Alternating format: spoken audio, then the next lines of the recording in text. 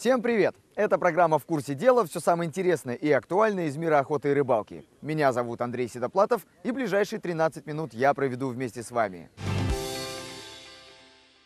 Смотрите сегодня. Время первых. Кубок канала «Охотник и рыболов» прошел в городе Кириллове Вологодской области. За победу в соревнованиях боролись более 200 человек. Чем запомнилось одно из главных событий лета? Расскажем в специальном выпуске нашей программы прямо сейчас. Спортсмены вышли на берег знаменитого Сиверского озера, который славится налимом, щукой и лещом. Участники выбирали снасти под себя. Испытать удачу могли любители поплавков, донок и спиннингов. Переменчивая погода проверяла рыболовов весь день, но спортсмены боролись за победу до последнего.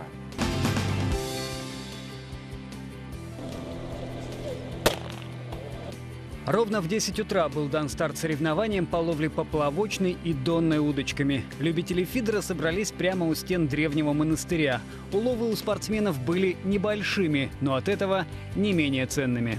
Хоть маленькая, но клюет, а у соседей такого нету. Возможно, это будут решающие мои граммы при победе. Наталья Синицына, наоборот, начала соревнования сразу с крупной рыбы. Поговорка «новичкам везет» — это про нее, ведь девушка участвует в турнире первый раз. У начинающей спортсменки нет стратегии ловли, но она рассчитывает вернуться домой с трофеями. Призы посмотрели, да, почитали. Решили, что устраивает даже новый термос. Может, хоть наловится, я не знаю. Окуней может наловить до уху, до вечера. Больше всего участников собрал турнир по спиннингу. Некоторых не останавливало даже отсутствие лодки. Владислав Бурмак рыбачил на надувном плоту. Чтобы было проще передвигаться, спортсмен даже сделал себе ласты. В отношении скорости, естественно, я проигрываю. Но, как говорится, когда рыбачишь на лодке с мотором, то рыбалка превращается в покатушки. А здесь как бы созерцаешь. Некоторые спортсмены из-за сильных тренировок выдохлись в самом начале соревнований, так что даже держать удочку были не в состоянии. Другие, напротив, не складывали снасти ни на минуту. К примеру, на детском турнире спящих участников замечено не было. Павел Сазонов из своих 13 лет увлекается рыбалкой 6, половину жизни, и не понимает своих сверстников, сидящих часами перед мониторами. А тут наслаждаешься, отдыхаешь, глаза не болят от компьютеров. Для победителей детского турнира призы подготовила компания «Спрут». Она специализируется на товарах для рыбалки и экипировке для активного отдыха на природе. Юные спортсмены тут же отправились испытывать свои подарки в действии на Северское озеро.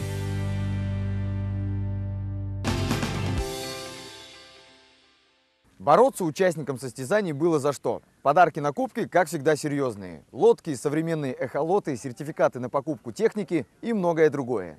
Призовых мест на этот раз было 9. Кто получил награду за самый большой улов, сейчас узнаете. 6,5 килограммов. Такие уловы – редкость даже для кубка. Первое место в личном зачете по ловле поплавочной удочкой с берега взял Евгений Павлов. В качестве главного приза ему вручили сертификат на приобретение мотобуксировщика «Мужик». Эта машина обладает повышенной проходимостью по глубокому и рыхлому снегу, способна преодолевать болото и наслод, буксируя при этом за собой пассажиров и дополнительные грузы на санном ходу. Получить главный приз спортсмену помог не только большой опыт ловли, но и простая удача. Пять минут оставалось до финиша, и у меня клюнул лещ на 900 грамм. Еле достал, честно сказать. Каждому победителю вручили сертификат на покупку обуви «Специол». Компания более пяти лет изучает потребности рыбаков и охотников и производит комфортную обувь. Сапоги из материала «Эва» с различными температурными режимами используют как рыбаки-любители, так и спортсмены. В обуви «Специол» ногам легко и тепло.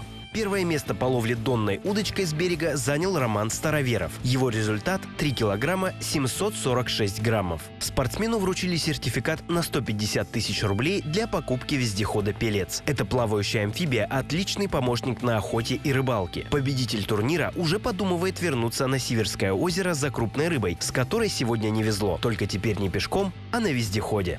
Крупную рыбу я поймал, больше килограмма, но основной вес был сделан на средней рыбе и на мелкой рыбе.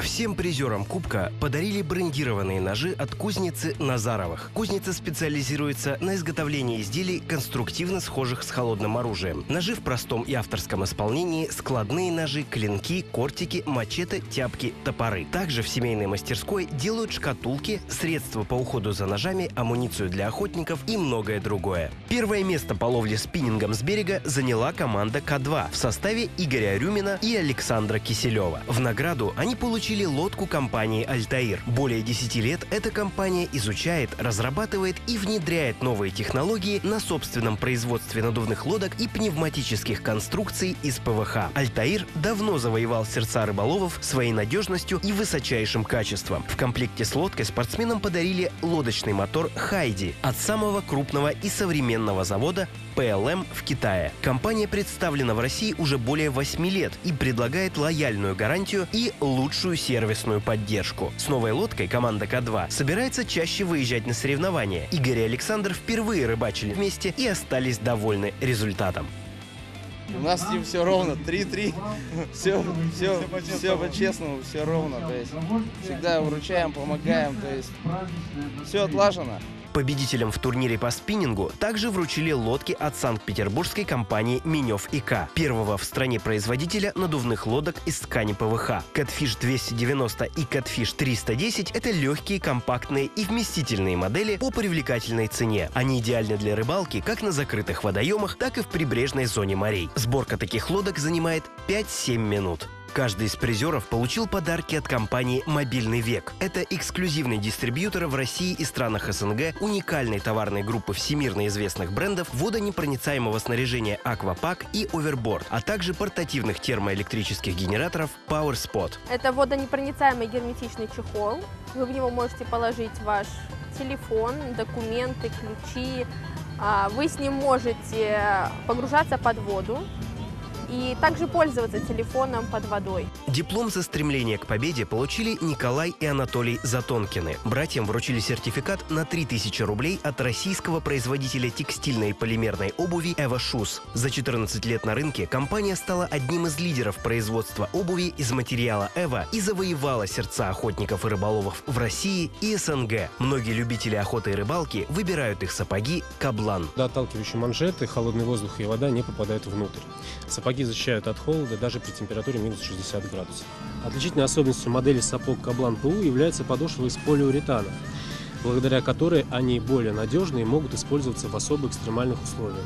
Самую большую рыбу из озера достали Иван Ливин и Михаил Фокин. Им вручили эхолота от компании «Гармин». Компания давно известна среди охотников и рыболовов благодаря качественным GPS-навигаторам и эхолотам для рыбалки. Эхолоты «Гармин» показывают уловистые места и рисуют карту глубин, благодаря чему рыболовы по-новому смотрят даже на известные водоемы. Иван и Михаил собираются с помощью «Гармина» искать щуку. Сегодня им удалось победить только благодаря этой рыбе. Это было очень интересно.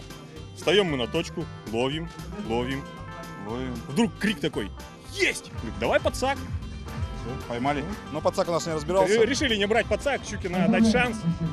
Поэтому брали так, руками. Каждому победителю Кубка вручили термосы марки «Термос». Это мировой производитель инновационных изотермических товаров, не имеющих аналогов в мире. Именно компания «Термос» изобрела первый в мире термос. Этому бренду доверяют уже более 110 лет. С многочисленными подарками гости Кубка отправились праздновать победу на многочисленных площадках фестиваля.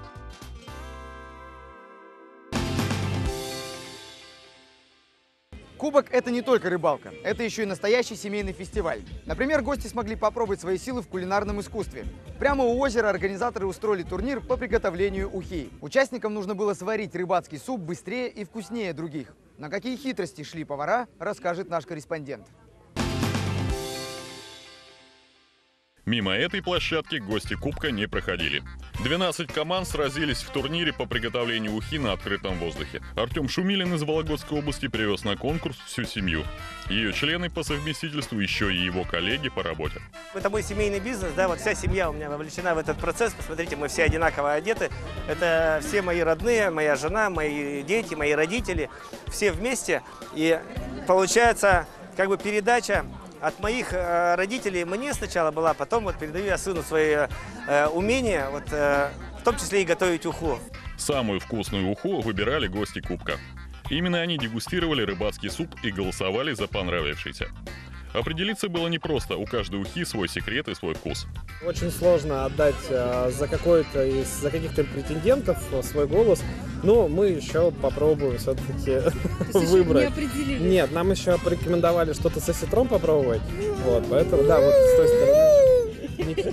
Простите, пожалуйста. Это, это была реакция на четвертого участника, да. Лучшей была признана уха колхоза Нива из Шекснинского района Вологодской области. Победителям вручили ножи кузницы Назарова, а также корзину с годовым запасом продукции от мясокомбината «Велес». К этому конкурсу мы готовились за две недели.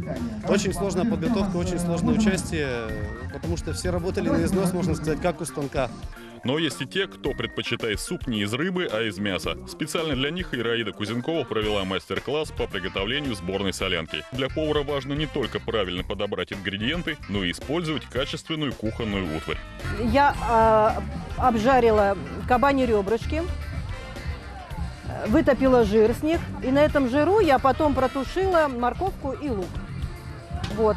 Сейчас мы это все закрываем, посолила.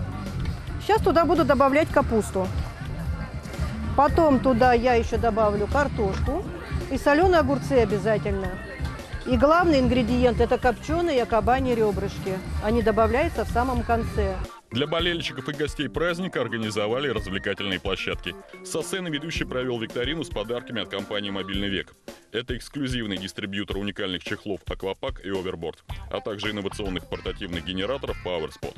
Они могут помочь в сложной ситуации, когда рядом нет электричества и разрядился аккумулятор телефона. Уникальные чехлы «Аквапак» и «Оверборд», благодаря которым можно пользоваться телефоном даже в воде, также обрели новых сообразительных владельцев. Был вопрос, что такое аквапак. Я предположила, что это чехол для чего-то. Например, телефон положить, и он не будет, пром...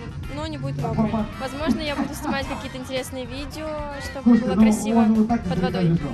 Гости не расходились даже после награждения. Фестиваль продолжался до позднего вечера. Его посетили 3000 человек. Он стал одним из самых массовых за всю историю проведения Кубка телеканала «Охотник и рыболов».